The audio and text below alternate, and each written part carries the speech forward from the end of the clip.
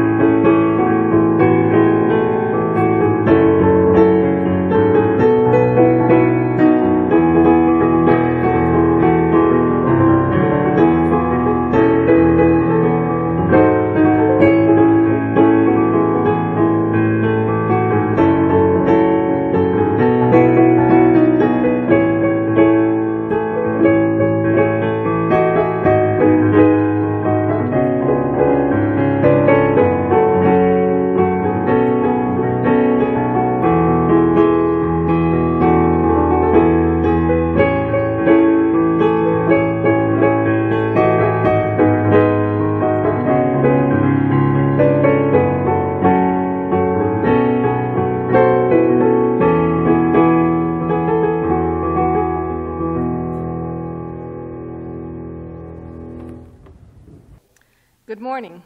Before Pastor Carl comes, I have a very important message for the congregation. To all active members of the First Congregational Church of West Haven, Connecticut, this is a call to the annual meeting of 2020.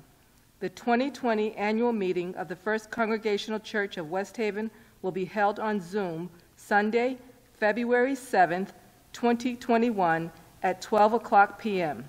The purpose of this meeting is to act on the following items of business to receive the annual reports of the pastor, the interim director of Christian education, church officers, church council, all boards and committees, the ushers, delegates, and other organizations and groups of the church for the year 2020, to approve revisions to the bylaws, to adopt a budget for the year 2021, to elect officers, board members, committee members, and delegates for the year 2021 and to conduct any other business that may properly come before this meeting. Signed, Ann Fletcher, Church Clerk.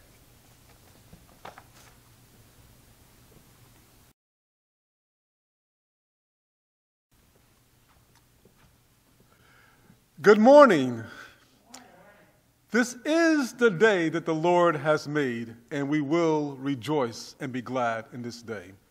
I'm Pastor Carl, and no matter whom you are on life's journey, we thank you so much for viewing the recording with us this day. We pray that your hearts will be open to receive that all that God will have for you to hear this day will be heard. We pray that you will continually seek our God because our God loves you so much. So we welcome you and we thank you for participating and viewing the recording with us this day. Before we continue, my wife Belinda will once again come up and read the scripture for our sermon, and then we'll proceed accordingly. Our scripture reading will be coming from 2 Corinthians chapter 5, cha- uh, verses 11 through 20. Therefore, knowing the fear of the Lord, we try to persuade others, but we also we, but we ourselves are well known to God, and I hope that we are also well known to your consciences. We are not commending ourselves to you again, but giving you an opportunity to boast about us, so that you may be able to answer those who boast in outward appearance and not in the heart. For if we are beside ourselves, it is for God. If we are in our right mind, it is for you. For the love of Christ urges us on, because we are convinced that one has died for all, therefore all have died. And he died for all, so that those who live might live no longer for themselves, but for him who died and was raised for them. From now on, therefore, we regard no one from a human point of view. Even though we once knew Christ from a human point of view, we know him no longer in that way. So if anyone is in Christ, there is a new creation. Everything old has passed away. See, everything has become new. All this is from God who reconciled us to himself through Christ and has given us the ministry of reconciliation. That is, in Christ, God was reconciling the wor- world to himself, not counting their trespasses against them and entrusting the message of reconciliation to us. So we are ambassadors for Christ. Since God is making his appeal through us, we entreat you on behalf of Christ, be reconciled to God. For our sake, he made him to be sin who knew no sin, so that in him we might become righteousness of God. The word of the Lord.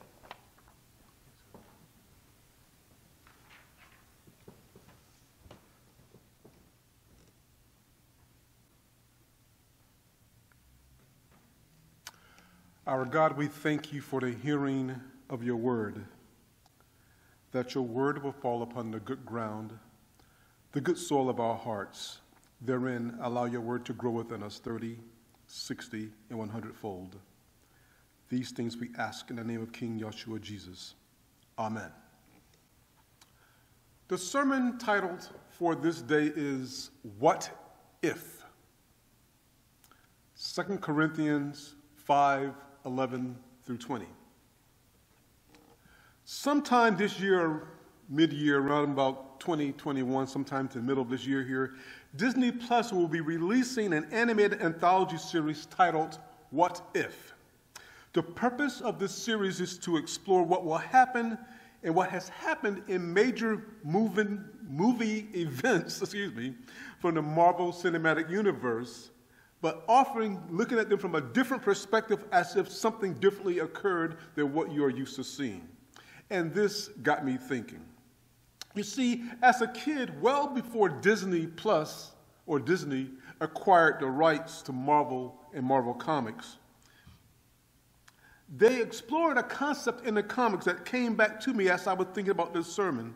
And this thing that came to me is that Marvel had this thing titled, What If the Hulk Had the Brain of Bruce Banner? Now, the reason for this what if scenario is that Bruce Banner, Reed Richards, and Charles Xavier constructed a, an improved version of Cerebro called the Psychotron, which merged them physically and mentally into one being, into one X man. They were forced to use this machine, and they only used it one time because the machine blew up afterwards, but they used it in order to take on the defending the Earth against a pending superpower called Galactus.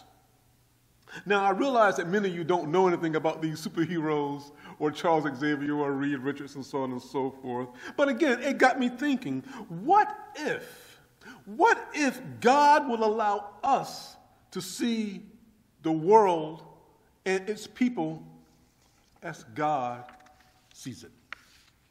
What if indeed? Well, in fact, God does give us the power to see the world and its people as He sees it. And we don't need Cerebro or the psychotron in order to do this. See, God has already provided us with the means of how to be doing this, and it is through the Holy Spirit. In our seeking to understand this from God's Word, it is unfortunate that many of our modern translations have knowingly or unknowingly skewed the clarity in their translations. You see, the Apostle Paul in 2 Corinthians 5 and 16, which commonly is read, For now on, therefore, we regard no one from a human point of view. If you think about that, something's missing. See, as clear as that sounds, something is missing. See, the scripture, when we read it in a non contemporary version or non modern translation of the Bible, reading it, we get a different feel for it. And it says the following Therefore, from now on, we regard no one according to the flesh. 2 Corinthians 5 and 16. Again, with regards, we know no one according to their flesh. So we, as we consider this, we need to ask ourselves what was God attempting to have us to understand? What was God trying to convey to us? And the answer is simple. God was trying to get us to understand that as we engage each other as Christians, instead of us focusing on others' faults and their failures, that we should look to see them as God see them, as regenerated spirits that happen to be living in ungenerated bodies. See, we know the answer to what I just told you is correct because when we get down to the 21st verse, it says that we might become the righteousness of God. See, becoming the righteousness of God can only occur for those whose spirits have been regenerated by the Holy Spirit. And it's because our spirits are regenerated by the Holy Spirit, it gives us the ability to do great things because our spirit is made alive. And as our spirit is made alive, we're able to connect with other Christians in the purity of our faith as kindred spirits. But knowing people by their spirits only and how we should live our lives in doing this right here can only occur as we walk in the Spirit, as we talk in the Spirit, as we engage life and all that is around us through our regenerated, our recreated spirit. And this can only occur through the power of the Holy Spirit that has been sent to us by Christ Jesus Himself, who has redeemed us. For one, those who want more clarity on this point, please see John, the 14th chapter, specifically the 17th verse. Now, as we attempt to engage and connect with each other spiritually, I must be clear here. I need to be 100% absolutely clear with no ambiguity that our experience with each other and our experiences with God cannot, must not be mystical nor metaphysical.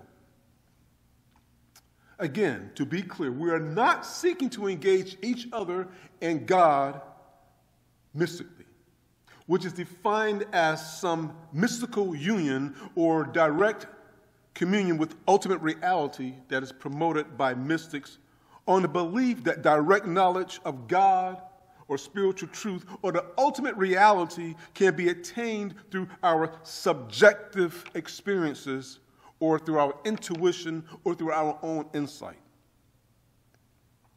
Nor are we seeking to engage God or each other metaphysically, where we are trying to examine the fundamentals of nature, of reality, including our relationship with mind and matter, between substance and attributes, between the potentiality and actuality.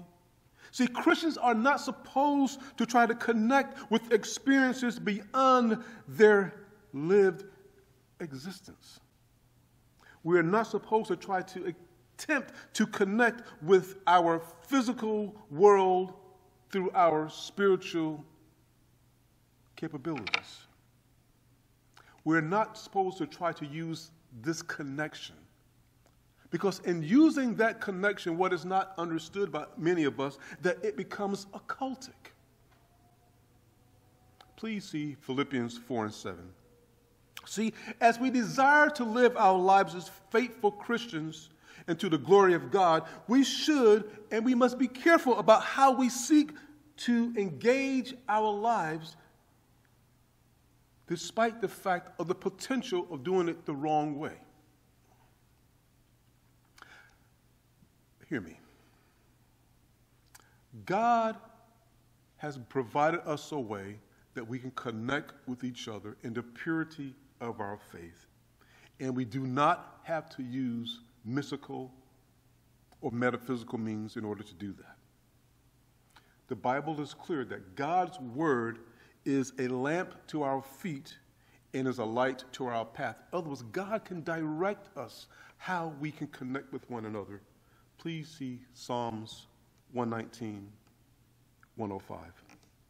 See, this is the tragic when pastors and leaders who are willing to allow their faith to be shaken and destroyed by Ivy Leaguers and other intellectual elites in our seminaries who seek to dissuade us from embracing the Word of God as truth.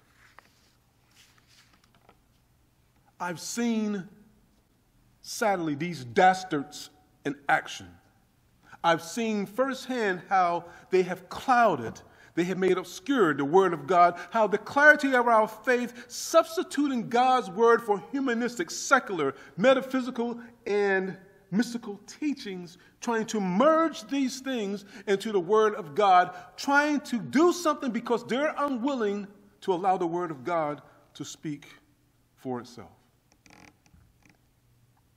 For those who do these things, the Bible declares a woe unto them. The Bible says, Woe to those who are wise in their own eyes and prudent in their own sight. Isaiah 5 and 21.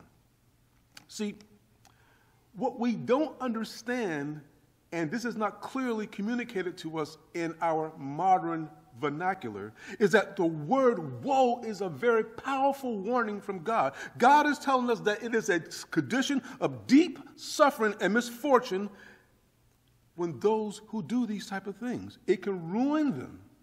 It causes calamity in their lives. God goes as far as to say that claiming themselves to be wise, they become fools. Romans 1 and 22. See, it's troublesome when we can't look to the Word of God to inspire us. That we can't look to the Word of God to help us in our faith because these translations, the way they are promoted, the way they are given out, that they're done in such a capacity that I don't know if it's knowingly or unknowingly that it's done, but it's hindering us as Christians. And this is why we must understand the fact that if we're going to